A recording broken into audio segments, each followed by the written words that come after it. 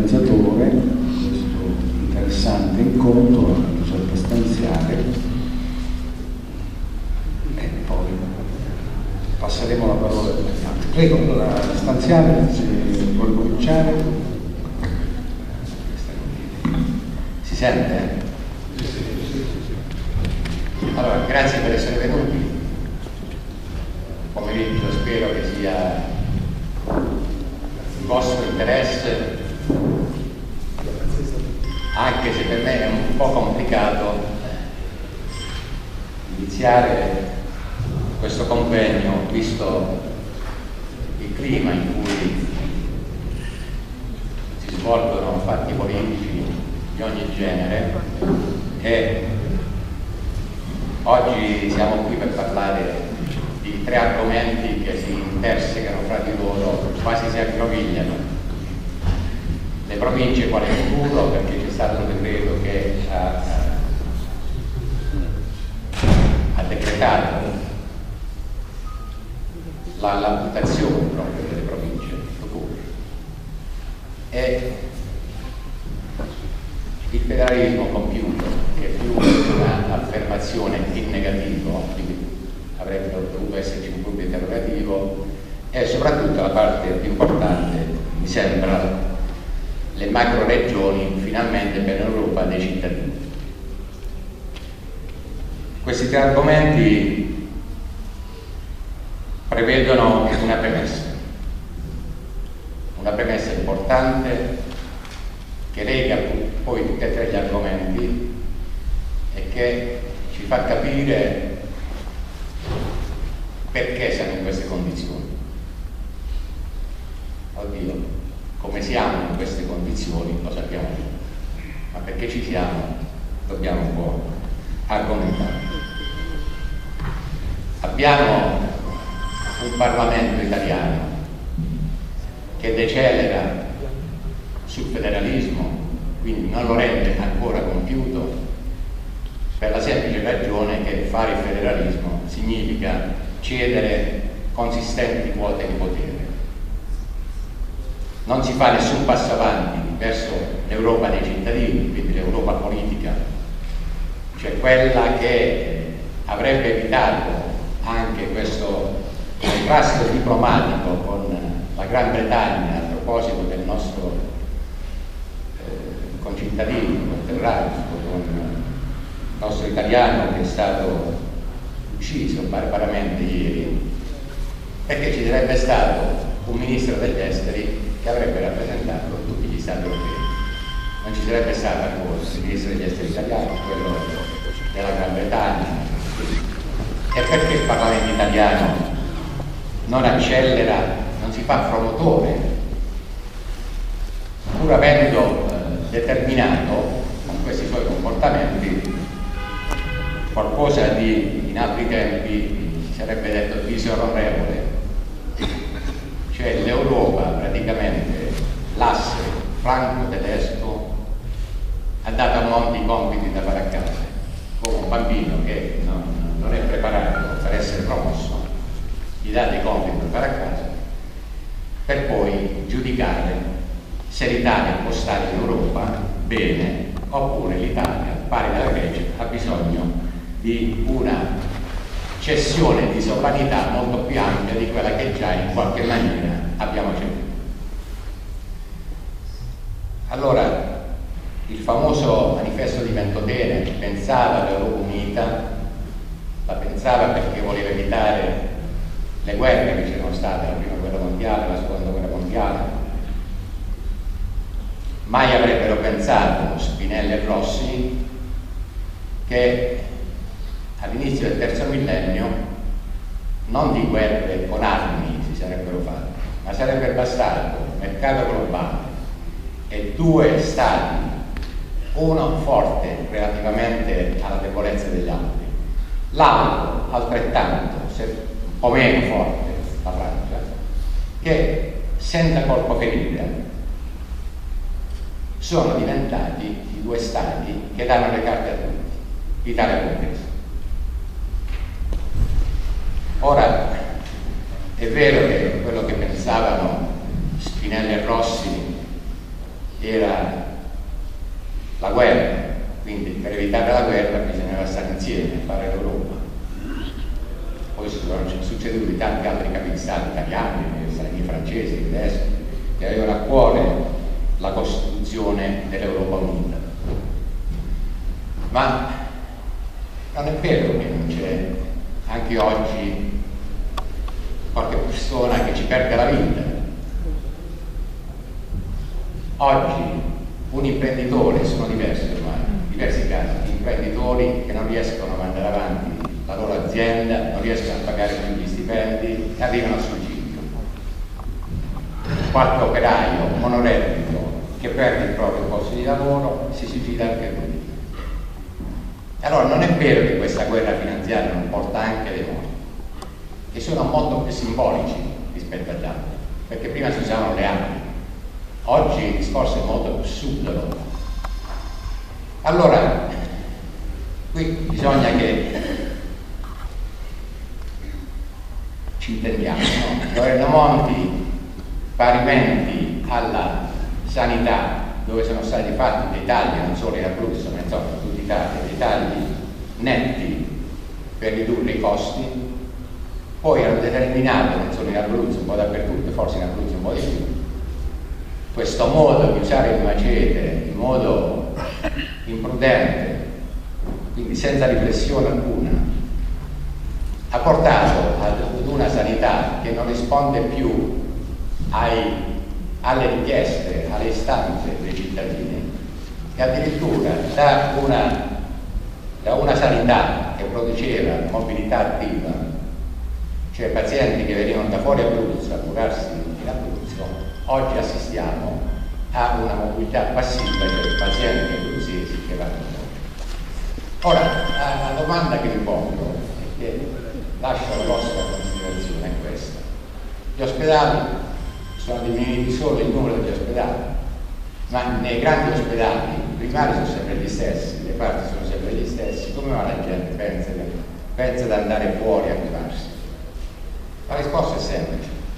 La chiusura dei piccoli ospedali ha determinato un afflusso maggiore di gente, di, persone, di tempi, di pazienti in questi ospedali.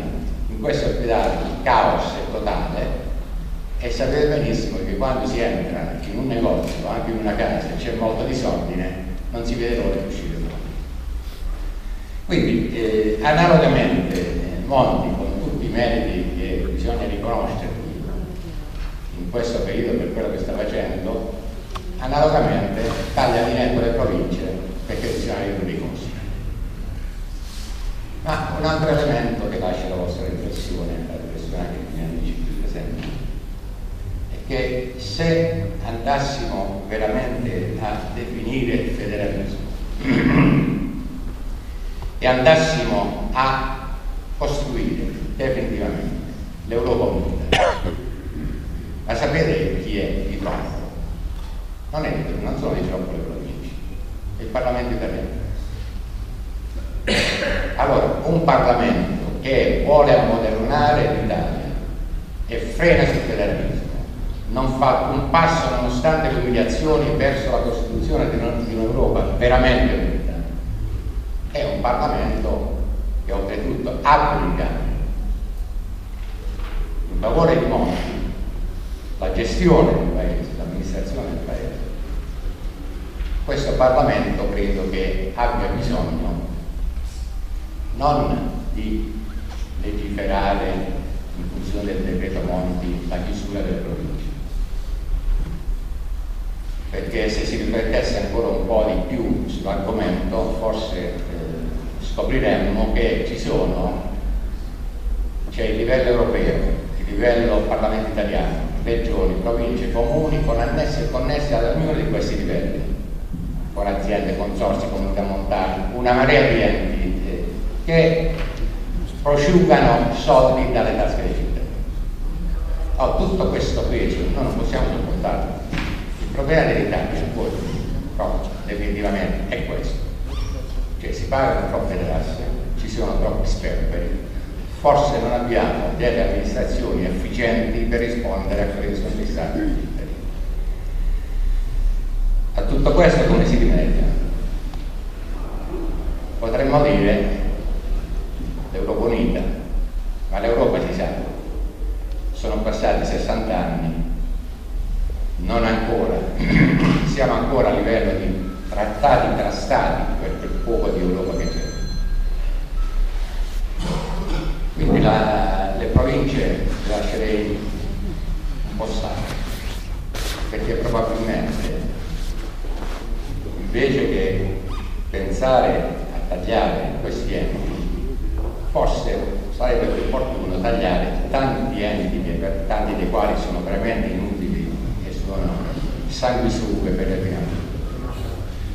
Quindi più che vedere parlare di deleghe da trasferire, all'interno di questi tre livelli, regione, comune e provincia, se noi cominciamo a distinguere, ecco questo è un altro aspetto che volevo toccare proprio.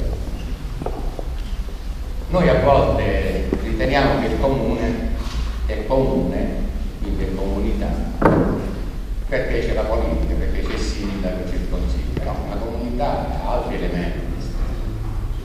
Una comunità è comunità squadra di calcio in comune al santo patrono, alle tradizioni, alla storia. Francamente c'è una bella lapide del cidio, di Santa Cecilia. Sono pagine storiche che restano ai cittadini. Il comune come lo intendiamo, sindaco, consiglio, assessore, devono amministrare i denari che chiedono e rispondere ai cittadini con soluzione dei problemi e per le fasce più brevi le soluzioni dei bisogni. Ora, se noi stacchiamo, non rimaniamo convinti che un comune è tale solo perché c'è il sindaco, il consiglio comunale, e diciamo che un comune è tale la propria storia, le proprie tradizioni, le proprie eh, abitudini, e che la politica è un qualcosa che serve come l'amministratore dei condomini amministratore di condominio. Che fa? Amministra un condominio.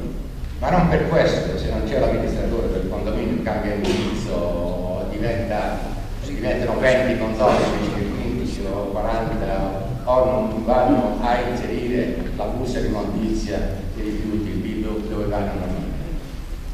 Allora, se noi superiamo questo aspetto, quindi il campanile, il cosiddetto campanile, cioè io il campanile Italia, me lo tolgo subito. Io voglio essere cittadino europeo, perché dall'Europa ho solo costi e nessun beneficio. Noi partecipiamo con tutti gli altri Stati a finanziare il Parlamento europeo e di contro se non abbiamo dei buoni amministratori, dei buoni imprenditori che sappiano farsi finanziare progetti vari dall'Europa e più ciò che diamo più quello che diventa. Quindi è un discorso allora,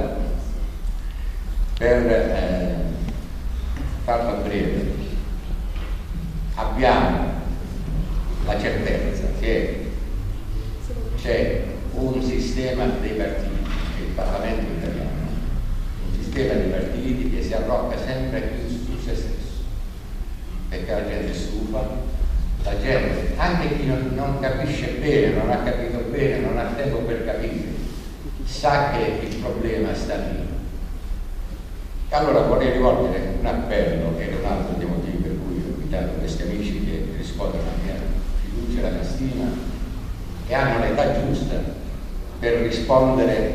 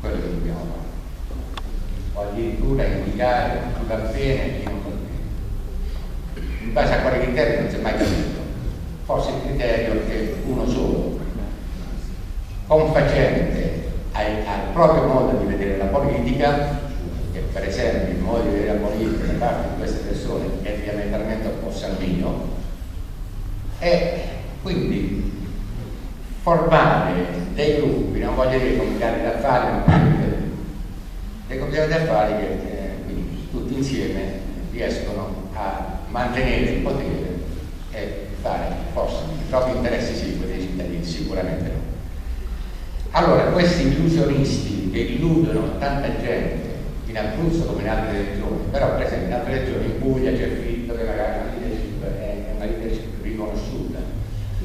In Abruzzo questo non c'è. E questi illusionisti che vengono da Roma, poi mi tratterò ancora due minuti su un altro aspetto ancora di importante, che fanno? Arrivano qui e da buoni illusionisti chiudono tutti, tutti, che, tutti potranno fare carriere, tutti potranno fare i presidenti di, famiglia, di scuole, potranno fare i parlamentari.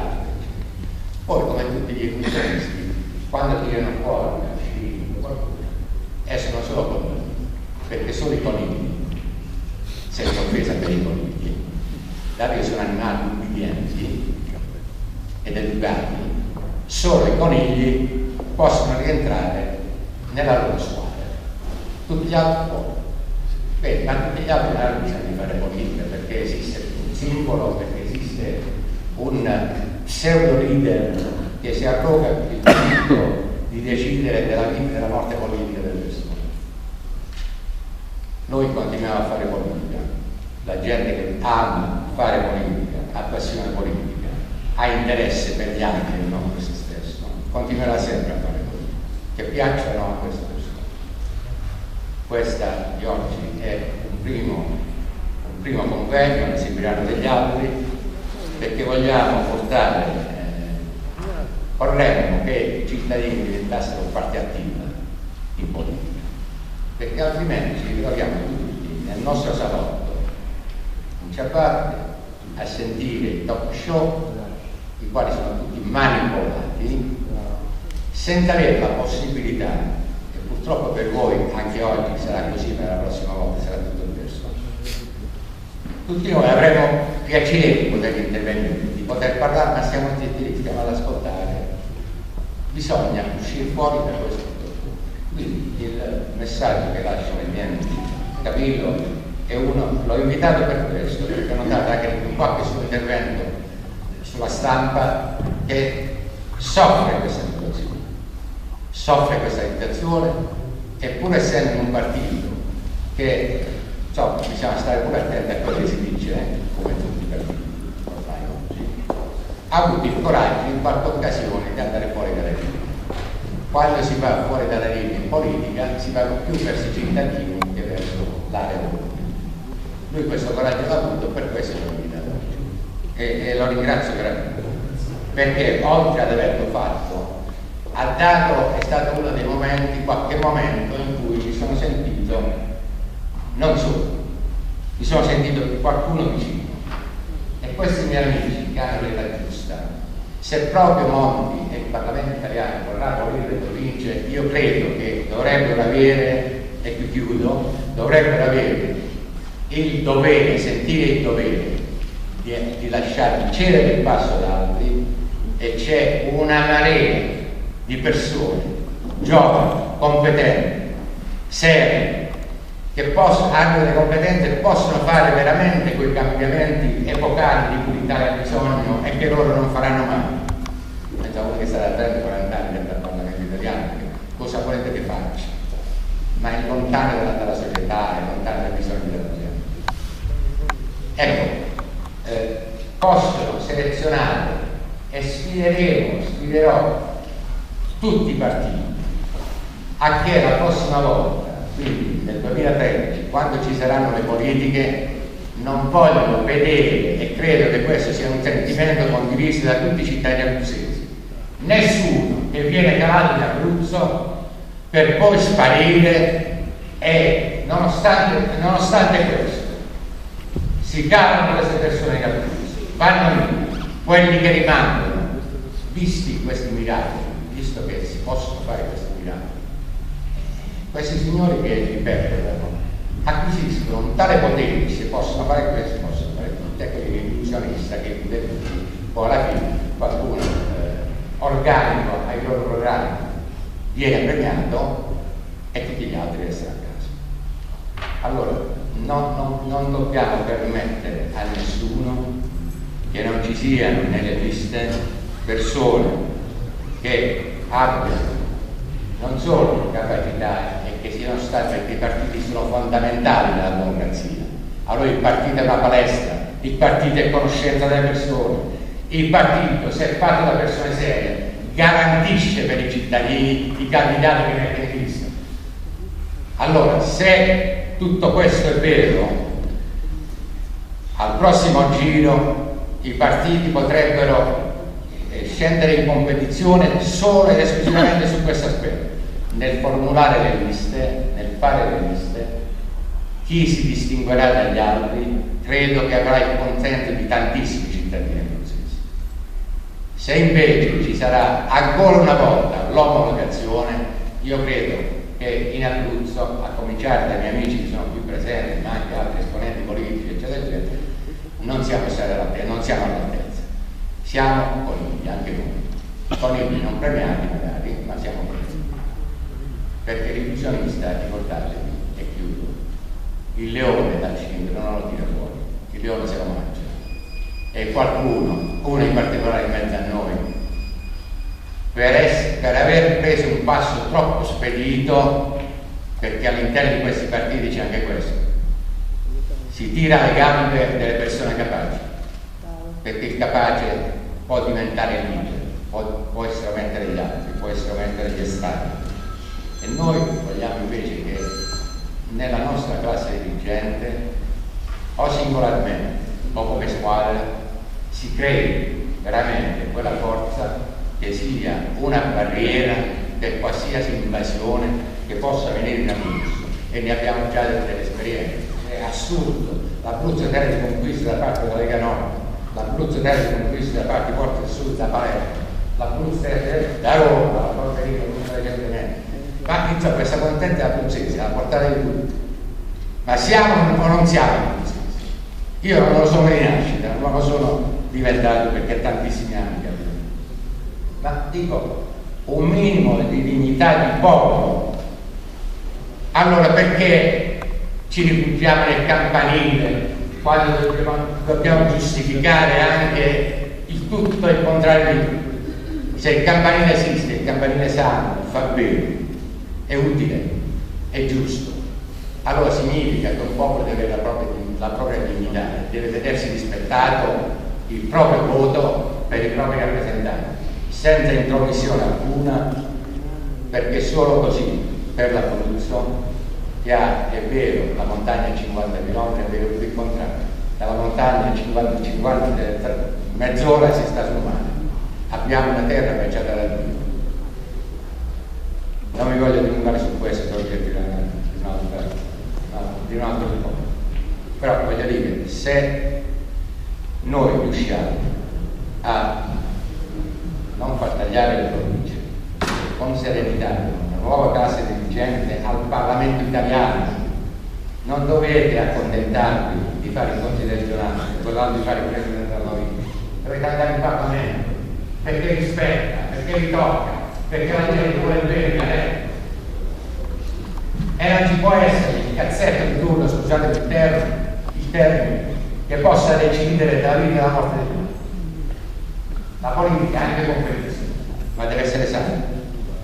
Non bisogna stroncare carriere nascenti perché fanno paura.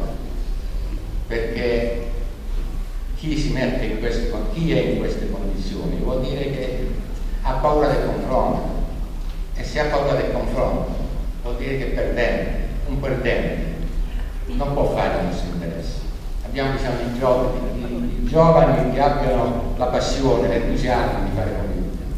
Non possiamo rimanere ancora ancorati a concetti, a mentalità, a comportamenti che pensavamo di aver accantonato e vissuto nella prima Repubblica e ci siamo ritrovati una seconda Repubblica e ce n'era bisogno di una terza. La terza Repubblica è anche nelle vostre mani. Io vi darò la mano che posso darvi con questi incontri continuerà ad invitare voi come altri, ma mi raccomando, credete in voi stessi, dovete crederci. Corina dovete crederci. Andate avete l'età giusta. Se passano un po' di anni non servite mai. Allora per il bene della per il bene dell'Italia per il bene nostro ma soprattutto ormai possiamo anche parlare dei figli per il bene dei figli no? Poi dobbiamo pensare ai nipoti perché alcuni figli stanno in guai pure loro. Allora stavo per dire forza Italia ma non voglio essere preso diciamo, eh, grazie a questi amici che sono venuti, io lascio la parola al nostro amico che ha voluto accompagnarci in questo pomeriggio e grazie a tutti. Buonasera a tutti, diamo inizio a questo incontro e per non essere conigli speriamo di poterci confrontare sempre più sui grandi problemi. Stanziale ha fatto, delineato un po' argomenti di grosso interesse, poi schiena dritta, siamo abruzzesi, cerchiamo di rivendicare questo orgoglio. Eh, siamo un popolo di individualisti, questo lo sappiamo, abbiamo anche poco il senso dello Stato, però questo paese deve essere modernizzato. Come? Cerchiamo di scoprirlo insieme. Il tema che ha dato Abruzzo Libero Domani, mi pare che si chiama l'associazione, è molto interessante. Province quale futuro, federalismo compiuto, macro regioni per l'Europa dei cittadini. Sono temi importanti che avrebbero bisogno evidentemente di tanto tempo, però cerchiamo per quello che è possibile di confrontarci questa sera. Qui ci sono due ex, cioè c'è un ex presidente di provincia e un presidente in carica, quindi sarà interessante il confronto. Poi abbiamo il presidente del Consiglio regionale d'Abruzzo, un consigliere regionale. Io direi di cominciare proprio dal padrone di casa, da Guerrino Testa, proprio sul tema di, della provincia quale futuro. Stanziale ha parlato di tagliamo da qualche altra parte, non le province, ci sono molti sprechi, in Parlamento ci sono troppi parlamentari, penso che su questo siamo tutti d'accordo. Ma iniziamo con Guerrino Testa, provincia, quale futuro?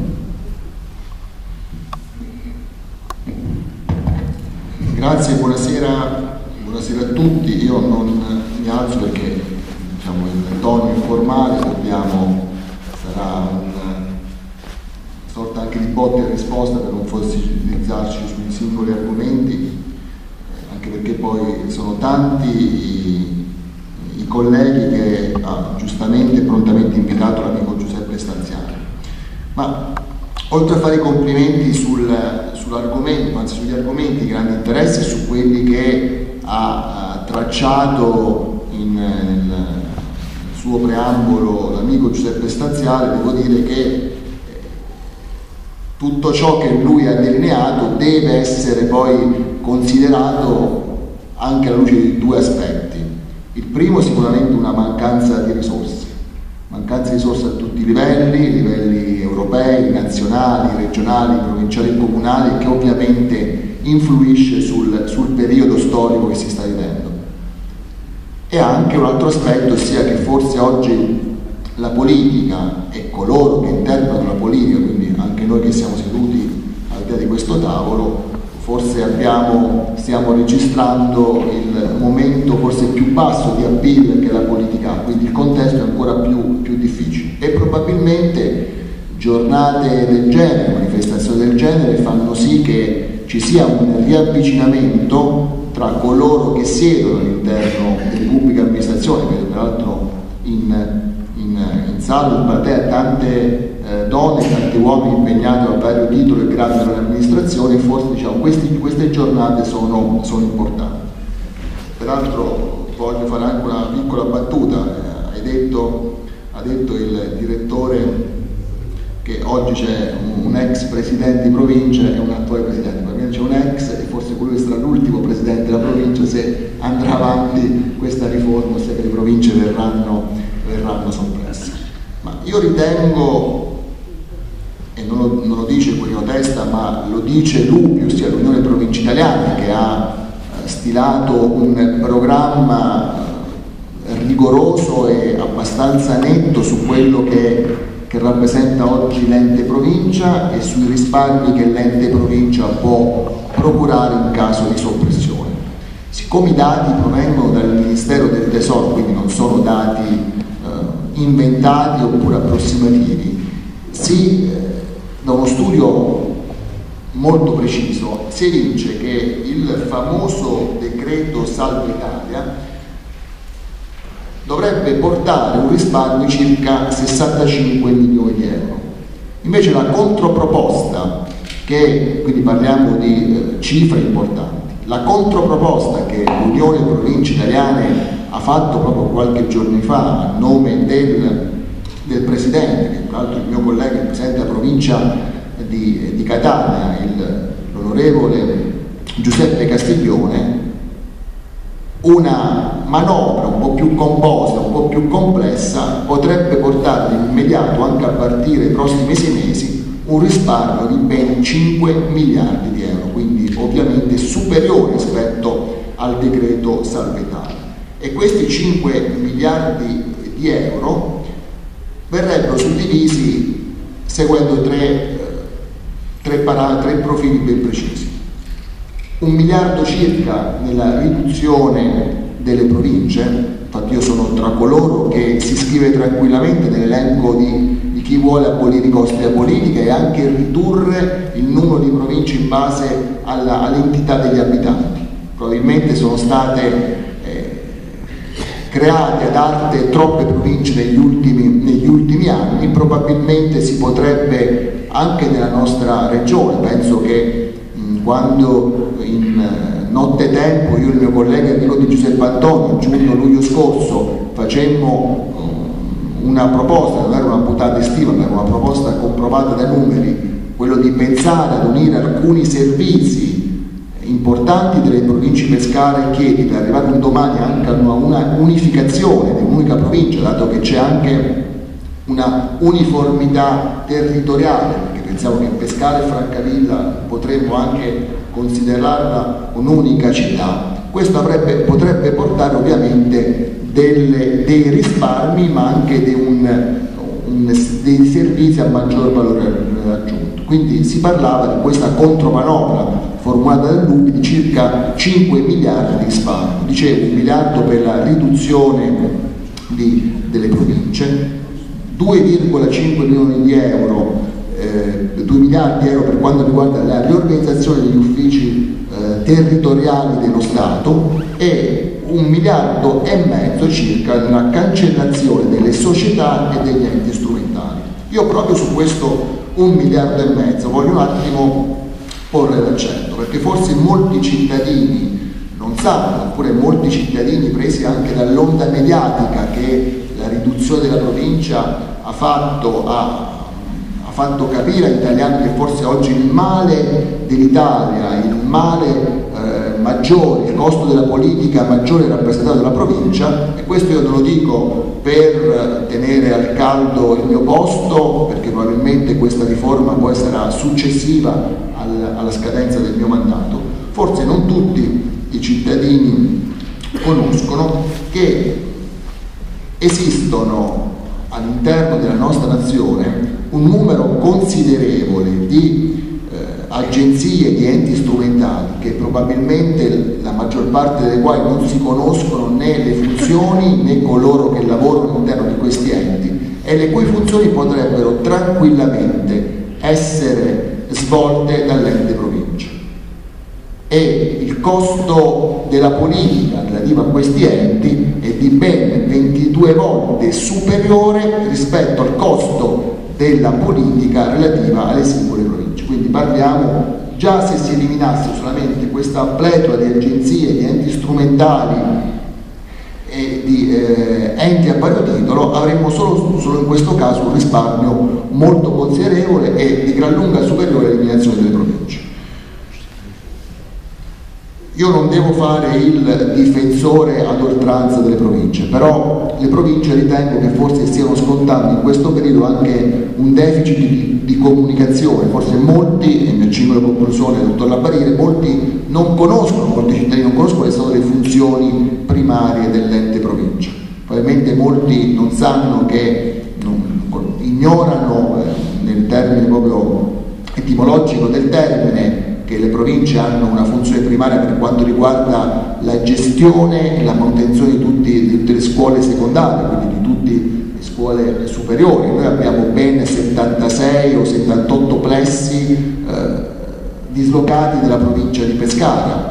La competenza per quanto riguarda tutto ciò che riguarda il comparto del settore lavoro e formazione, che è un comparto importante con i centri per l'impiego, probabilmente potrebbero anche essere eh, rimodulati, riorganizzati e resi ancora più efficienti, però questo è un altro tipo di discorso due comparti fondamentali, il comparto delle energie, cioè il comparto ambiente dove c'è il comparto energia il comparto acqua che viene sta, sta per è già stato delegato dalle regioni, dalle regioni e le province. Tutti sappiamo della problematica che oggi la regione Abruzzo, in primis la città di Pescara, sta vivendo per quanto riguarda il discorso della gestione dei rifiuti e sui rifiuti eh, le province eh, svolgono un ruolo fondamentale perché sono attori principali per quanto riguarda la, eh, il piano provinciale dei rifiuti. Parliamo di tutto ciò che riguarda anche la cultura e il turismo, quindi i temi dove la provincia può svolgere un ruolo importante sono tanti. Ovviamente il ruolo può essere svolto al meglio se ci sono due funzioni, due ingredienti principali. Innanzitutto che coloro che hanno il ruolo politico in questo, in questo periodo abbiano idee, abbiano voglia di fare e cerchino di razionalizzare al massimo le poche risorse che hanno a disposizione e di riflesso che vengano consentiti almeno un limite minimo di trasferimenti erariali da parte dello Stato e delle regioni nei confronti dell'ente provincia, perché se l'ente provincia deve diventare, così come lo si sta portando, ad essere un ente che paga principalmente solamente gli stipendi e può svolgere solo una minima, un minimo costo di eh, gestione, a questo punto probabilmente l'ente provincia deve essere soppresso, ma in questo caso devono essere soppressi anche i piccoli comuni e tanti altri enti. Siccome noi non vogliamo, vogliamo che la Costituzione, così come ha ribadito il Ministro della Funzione Pubblica, Filippo Patroni Griffi poco giorni fa, dove ha detto che l'Italia necessita, così come accade in tutta Europa, che ci sia una distinzione ben precisa tra regione, provincia e comune, questo può avvenire e avrà un peso se ci sarà anche una, provvista finanziaria che deve essere necessariamente eh, stare nel, nel, nelle mani di chi governa, in questo caso l'ente. Grazie. Grazie al Presidente spostiamo dall'altra parte anche per creare eh, dibattito. Diciamo, Alfonso ricorderà che quando è stato eletto Presidente della provincia è stato il Presidente più giovane d'Italia, se lo ricorda Alfonso, sì? Ah, ecco. Quindi dicevo, abbiamo sentito Guerrino Testa, Ascoltiamo adesso appunto Luciano D'Alfonso come ex presidente di provincia cosa pensa, cosa è cambiato.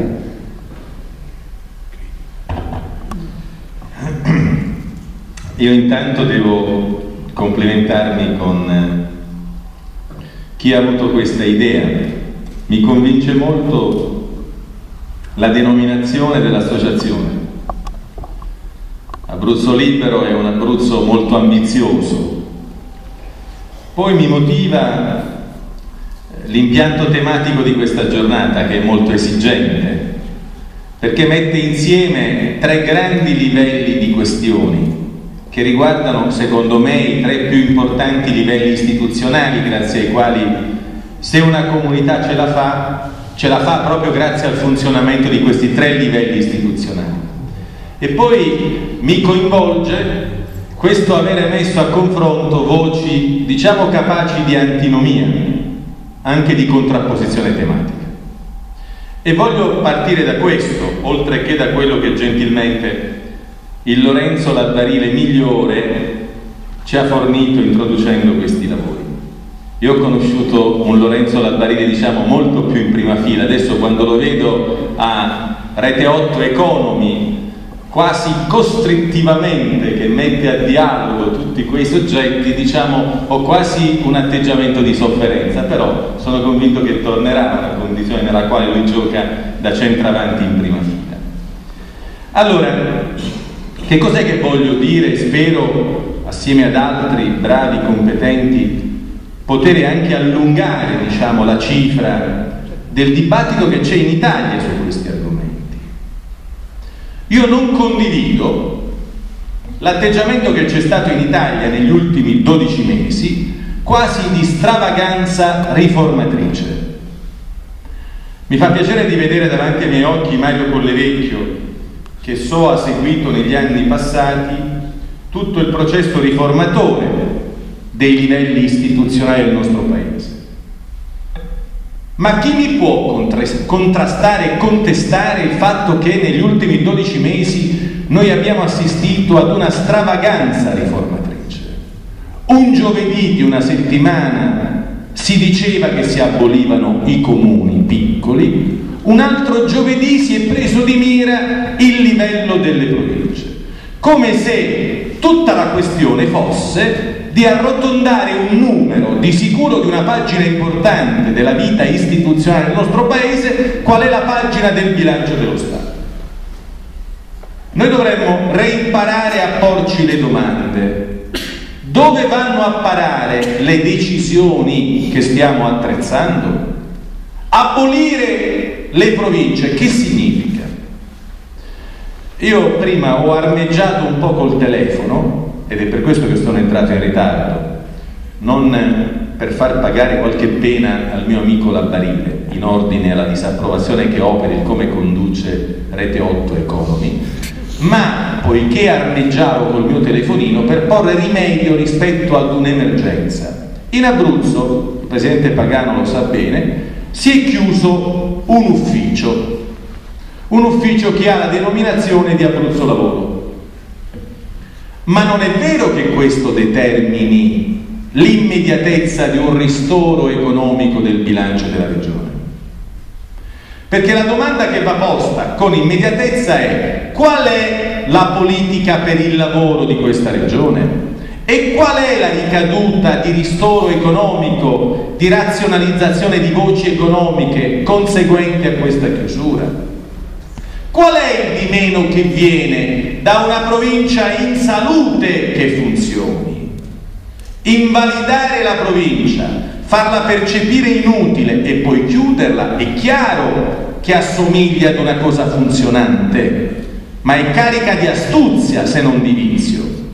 Vedete, io ho imparato perché eh, ho avuto tempo di leggere le carte e di studiare, che si capisce meglio ragionando per opposti. Qual è il contrario della provincia? Se noi chiudiamo le province, la realtà contraria qual è?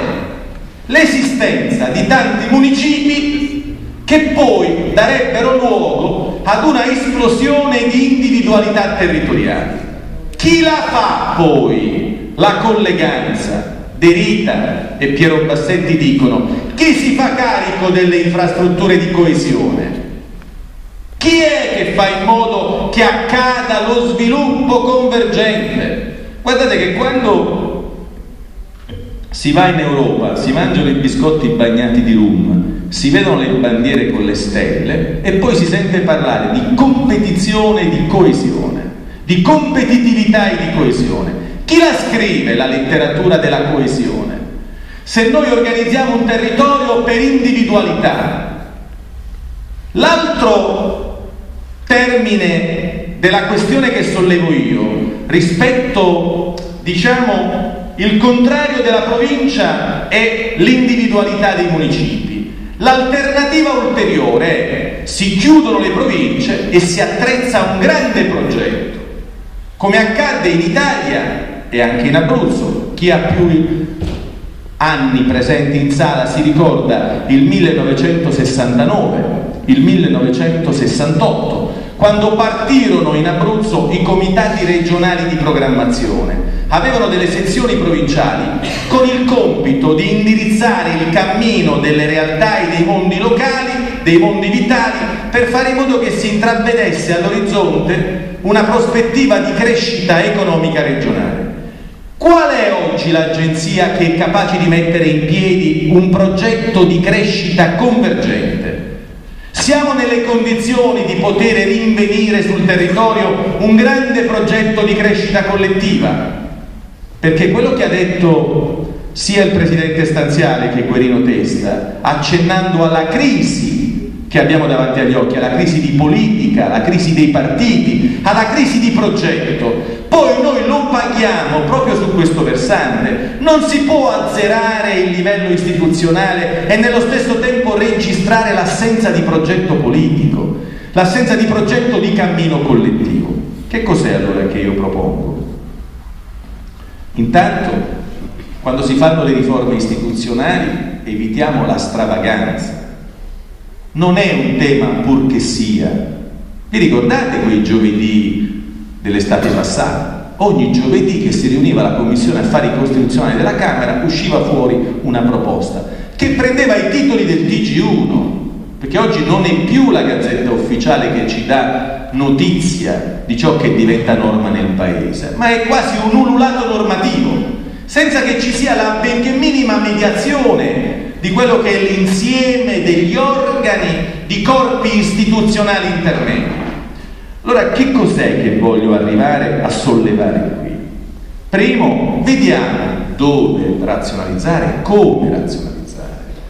Diceva Guerino Testa, probabilmente si tratta di fare un lavoro sui numeri, si tratta di fare un lavoro anche sulla fonte di legittimazione elettorale. Era eccessivo prima che il Presidente della provincia venisse eletto direttamente. Se voi fate un conto ed una pesatura, il Presidente della provincia, per la quantità e la qualità di legittimazione elettorale, era quasi il soggetto istituzionale più legittimato, a questa legittimazione non faceva da controcanto una quantità, qualità di competenze e di poteri.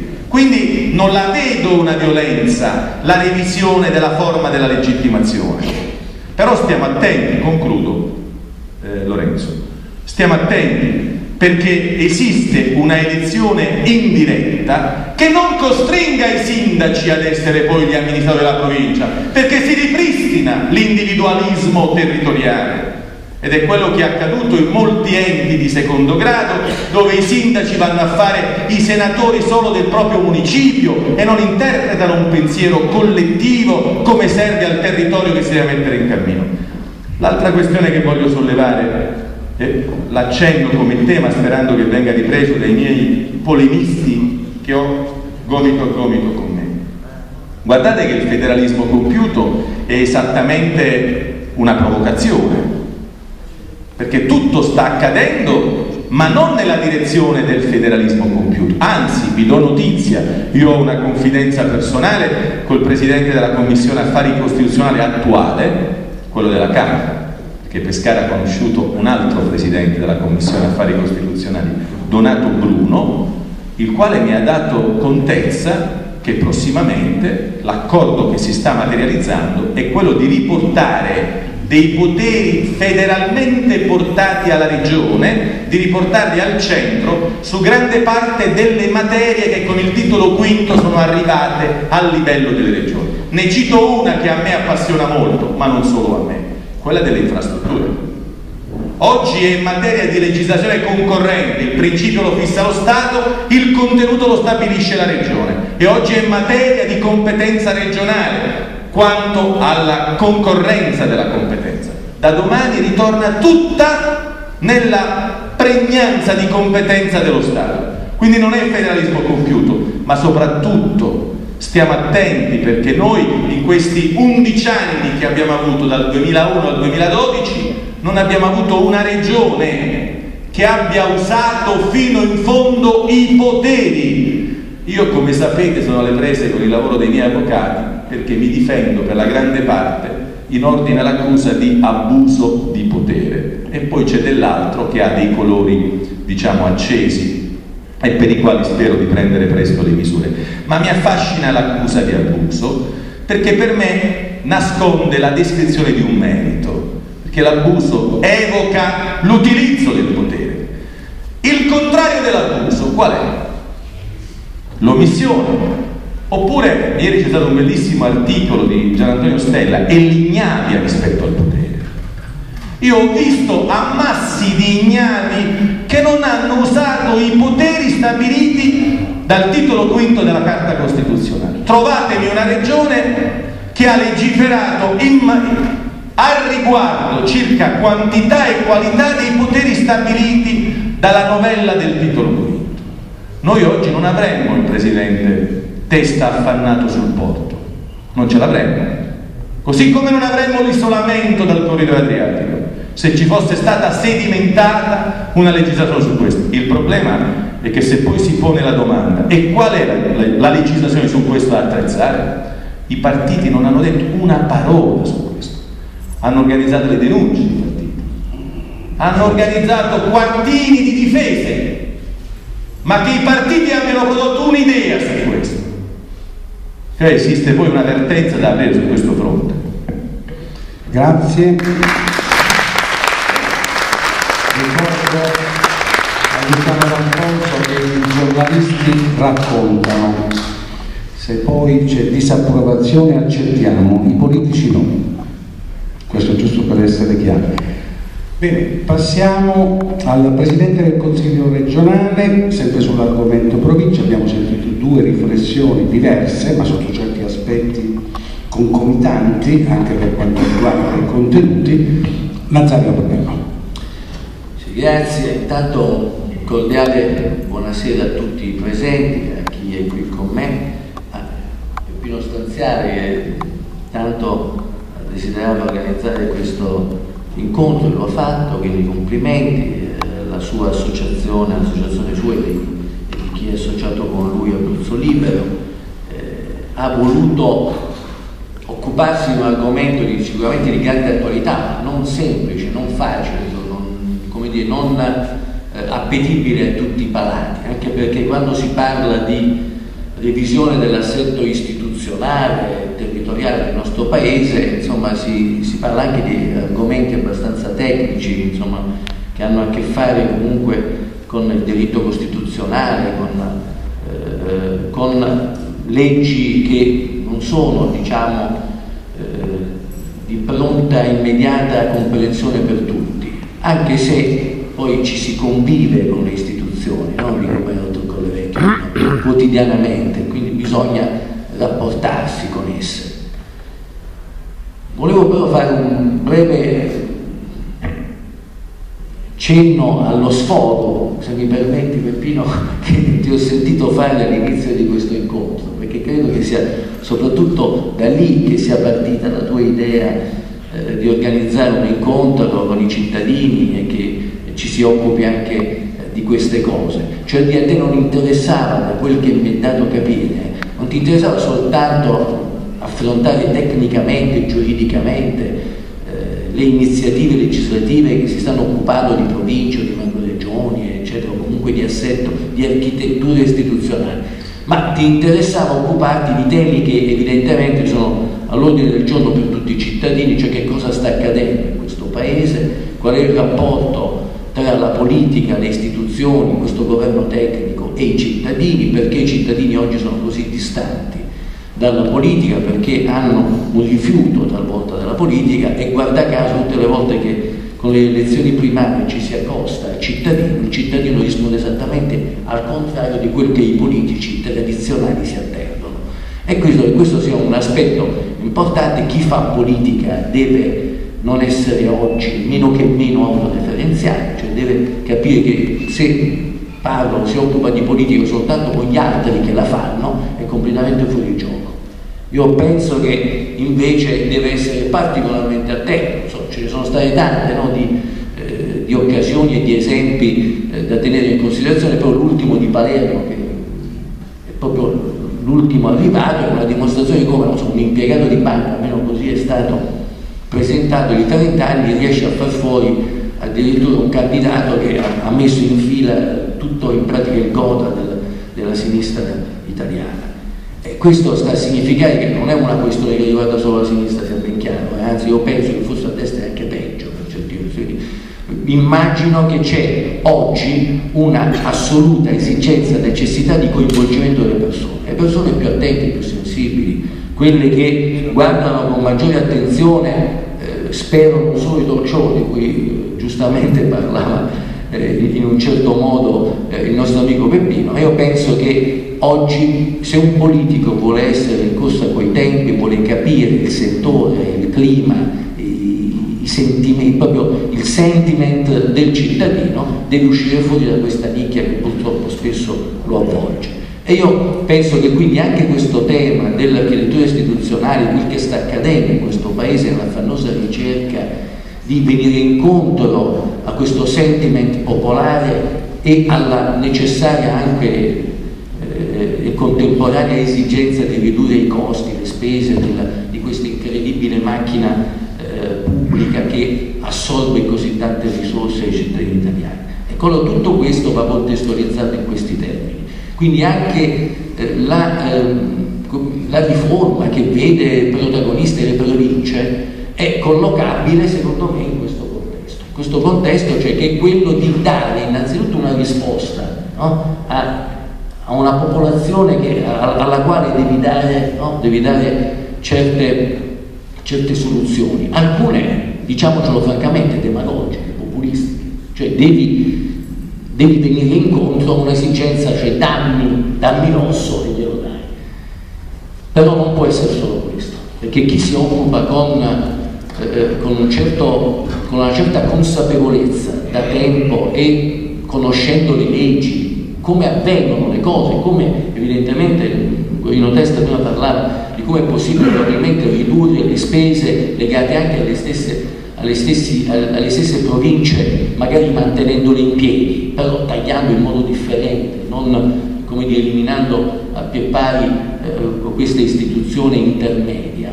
Allora io penso che questo è il tema sul quale chi è, voglio dire, una persona eh, che cerca eh, di mantenere il buon senso pur nella bufera, no, che, c'è, e allora bisogna che qualcosa lo dica, che abbia un senso.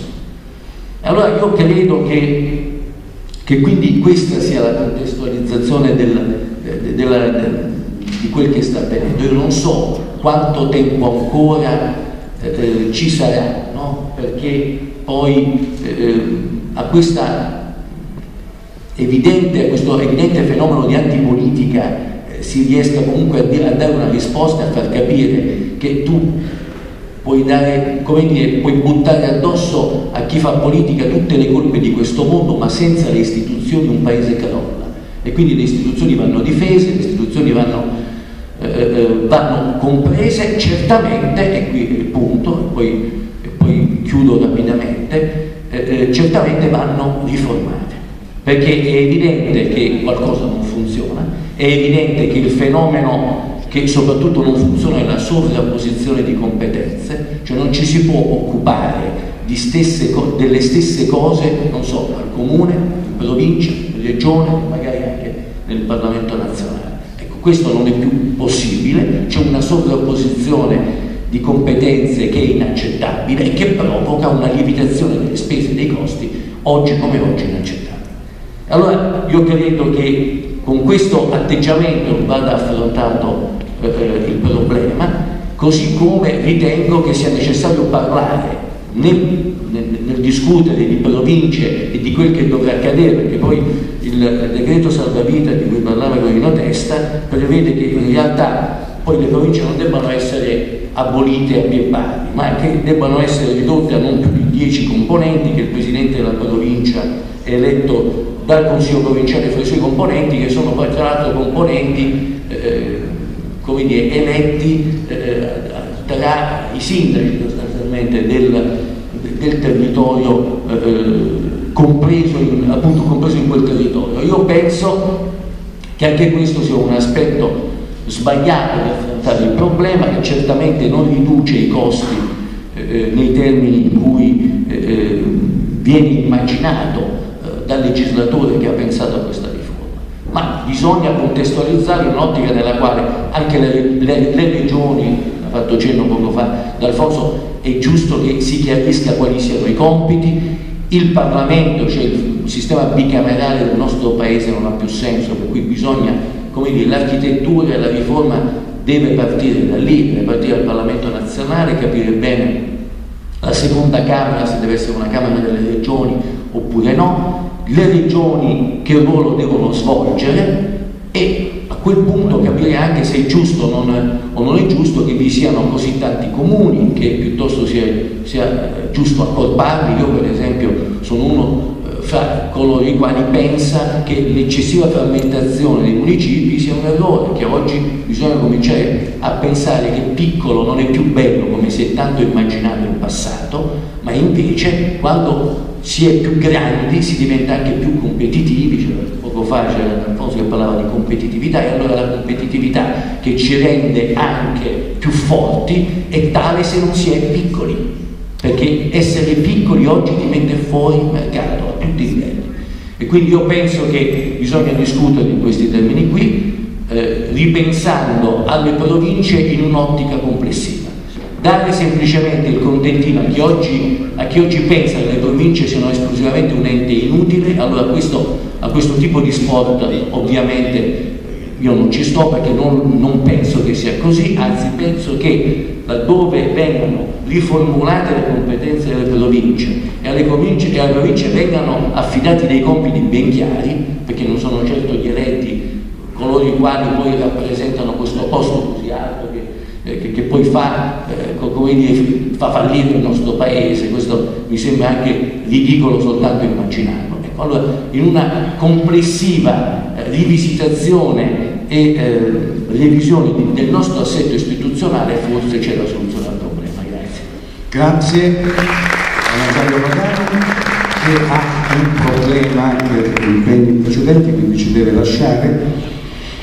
Io partirei dal concetto di piccolo, che non è bello, c'è un bellissimo libro di Abrahamel quando parla di, si parla di impresa, e eh, il piccolo non va avanti oggi, il piccolo deve vivere in una filiera, deve essere aiutato, deve avere vicino ricerca, cioè deve avere vicino tante di quelle branche che lo rendono non piccolo ma grande può rimanere piccolo ma deve diventare grande proprio perché piccolo eh, diciamo non è bello. E vorrei dare là anche ad un altro emergente, qual è eh, D'Alessandro. Alessandro, consigliere regionale, proprio per una riflessione ulteriore sul eh, futuro delle province nel nostro paese. Abbiamo ascoltato maniera molto autorevole quanto hanno detto chi ci ha preceduto. Ora sentiamo da Alessandro e poi andremo a toccare l'altro argomento che ci ha posto eh, stanziale, cioè quello dell'Europa dei cittadini. Da Alessandro. Grazie direttore, buonasera a tutti e grazie veramente a Peppe Stanziale, al quale mi leggo un rapporto di amicizia nata nella mia prima esperienza in un'istituzione a 23 anni, consigliere provinciale, lui era segretario di un partito che non c'è più, io ero capogruppo di un partito che non c'è più. E questo accadeva nel 1999. Eh, quella esperienza in provincia, che per me è durata sei anni, prima di arrivare in regione, mi ha consentito di poter entrare nel merito, eh, mi consente oggi di poter entrare nel merito di questo dibattito, cercando di affrontarlo non nella veste di coloro i quali immaginano l'approccio ai problemi da tifosi favorevoli e contrari alle province, eh, ma bensì con un approccio un po' più generale che dal mio giudizio è il problema che sta alla base di scelte incomprensibili che un Parlamento di nominati e solo un Parlamento di nominati poteva fare nella revisione della organizzazione dello Stato. Perché qui il problema che si aggredisce non è la provincia, non sono i comuni, è la idea della rappresentanza e della funzione della rappresentanza e si arrivò a teorizzare la, la non importanza della funzione della rappresentanza rispetto a riorganizzazioni dello Stato attraverso le sue articolazioni che prevalgono sulla democrazia. Ci sto nella partita competitiva di chi ritiene che lo Stato deve funzionare. Non ci sto in questa logica demagogica che ha voluto per esempio far immaginare agli italiani che il costo della politica e il cattivo funzionamento dello Stato fossero i comuni sotto a mille abitanti.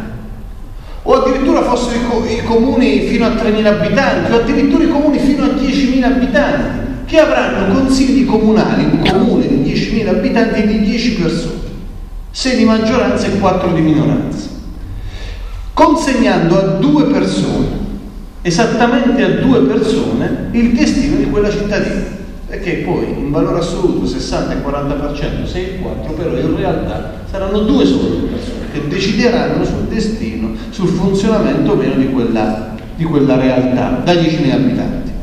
Sono alle prese nel fare le liste in comuni di 1.000, 2.000 abitanti, le liste di 6 persone.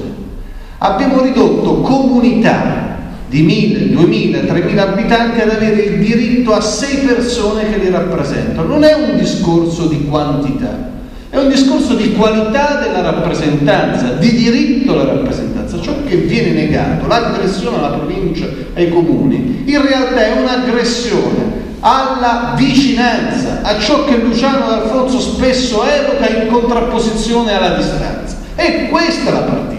È la partita della distanza contro la vicinanza. Io ho usato dire sui giornali, in questa partita ci si inserisce anche un'altra idea, che nel momento in cui le regioni non svolgono fino in fondo il proprio dovere, non hanno esattamente consapevolezza del proprio ruolo, come a mio giudizio capita in questa regione, che cosa entra in campo magicamente? Un altro potere Ancora di più la distanza dei parlamentari, la parlamentarizzazione di una regione rispetto invece al regionalismo, che per chi viene dalla nostra tradizione dovrebbe essere il trionfo dell'affermazione del funzionamento dello Stato proprio basato sulla vicinanza, come teorizzava, come iniziò a teorizzare appunto Don Luigi Sturzo. E nel prepararmi alla serata di oggi mi sono andato a rivedere un attimo, ho cercato vedo il professor Collevecchio, spero di non sbagliare perché certamente mi richiamerà nei riferimenti storici, ma spero veramente di non sbagliare, quando nel 1865 viene promulgata la prima legge di funzionamento dei comuni e province nel Regno d'Italia. E lì si afferma l'idea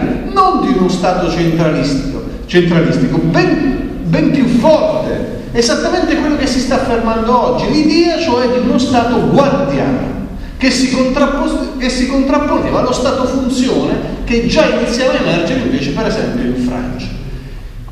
L'idea di questo Stato guardiano che convoca a sé, avoca a sé tutti i poteri, tutte le competenze, tutte le funzioni e che oggi ritorna a quella impostazione esattamente del 1865 ci dà la misura anche di come è implosa nel periodo la classe politica. Perché a me fa specie che un partito del quale io milito, il PD, non abbia fatto una rivoluzione liberale sulla battaglia contro l'aggressione alle autonomie locali che ha perpetuato un governo falsamente liberale che invece ha imposto esattamente il contrario della propria filosofia, cioè della vicinanza, del, del, di uno Stato funzione, un, del diritto dei cittadini di scegliersi la propria rappresentanza. Cioè chi teorizzava lo Stato leggero ha applicato esattamente lo Stato più pesante che noi conosciamo nell'ultimo periodo. Vado alle conclusioni perché sono convinto che torneremo sulle altre questioni. Con la legge 142 del 90 si teorizza, secondo me la più bella teorizzazione della, della provincia, come ente intermedio tra che cosa? Tra i poteri che stanno sopra la provincia e i poteri che stanno sotto la provincia, cioè tra i comuni e lo Stato, si teorizzava, si ipotizzava una funzione, non un una funzione intermedia che doveva fare la provincia. Può risolvere questa funzione intermedia il consorzio di comuni a livello provinciale? Questa è la follia che sta alla base della scelta. Allora, se potessi mettere in discussione, e questo lo faccio volentieri, il pilastro delle province, è la configurazione territoriale che non regge più. Il Presidente Desta parlava di un numero di abitanti. Io vorrei che si passasse da province su base storica, così come l'abbiamo conosciuto organizzata, per esempio Abruzzo, Chieti, L'Aquila, Pescara e Teramo, ad ambiti ottimali per creare aggregazioni provinciali. A mio giudizio un'area metropolitana di Pescara è l'ambito ottimale per quell'ente intermedio che svolge la funzione per quel territorio, che non potrebbe svolgere la stessa funzione, per esempio in un ambito ottimale territoriale che mette insieme l'Aquila e Teramo. Non è solo questione di quantità, è questione di funzionalità dei territori che hanno bisogno di chi faccia da coordinamento. Non può essere risolta questa funzione da un consorzio, deve svolgere il ruolo la provincia, rivista nelle sue funzioni, rivista nei suoi poteri, ma certamente rivista anche nei suoi ambiti territoriali. Grazie.